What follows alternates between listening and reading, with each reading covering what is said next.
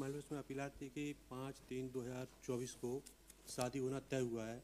Verification के लिए निवेदन है जेल में है। तीन सौ दो के यानी जो आदमी जेल में है उसकी शादी होना है। जी। हैं? जी। वाह भाई वाह क्या बात। कितने होनहार पुत्र हैं? ये हैं जिस जेल में सजा भुगत रहे हैं और इनको शादी का न्योता भी मिल गया। जी। हैं? जी। क्या बात। शुक्ला जी कभी सुने हो ऐसा? बंदी जेल में हो शादी का न्योता मिला हो उसको।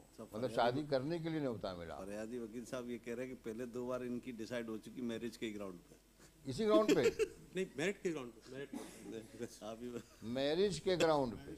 नहीं दो बार दो बार कोर्ट को धोखा दे चुके हो मैरिज के ग्राउंड पे। माय मैं तो अभी आया हूँ इसमें और इसमें शादी का कार्ड तुम्हारे तुम्हारे जैसे दो पहले आ चुके होंगे।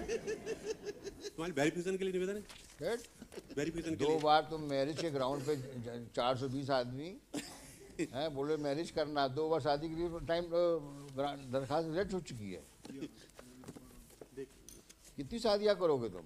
लॉर्ड मेरे पास में तो ये जो आया है पक्षकार ये पहली शादी के लिए आया है। तुम गजब और जो अच्छा, शादी का कार्ड लगा हुआ है। ये गजब के कोहिनूर हीरा है। ये दो बार इनको आगे डिमांड में है ये। नहीं अलग अलग नहीं होगी अगर होगी तो वही लड़की होगी और उसकी एफिडेविट भी लगा हुआ है। कोई ये नहीं कीजिए शादी का कार्ड एफिडेविट जिससे शादी होनी है उसके भाई का मतलब एफिडेविट उसको जुनून हो गया है कि शादी करूँगी तो इसी से करूँगी। ऐसा है क्या? हो सकता है जो भी है। पता नहीं क्या है। क्यों भाई? क्या है इसमें? वेरीफाई करा अरे ये सब शादी जेल में करवा दो इसकी तुम भी लगा कोई शादी वादी चक्कर नहीं मान लो वेरिफिकेशन के लिए। राइट?